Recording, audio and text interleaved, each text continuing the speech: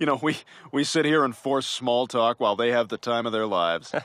Yeah, yeah.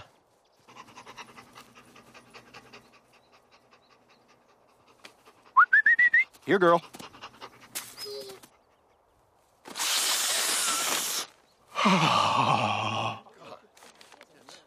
Sorry, uh, I, I thought I smelled cookies.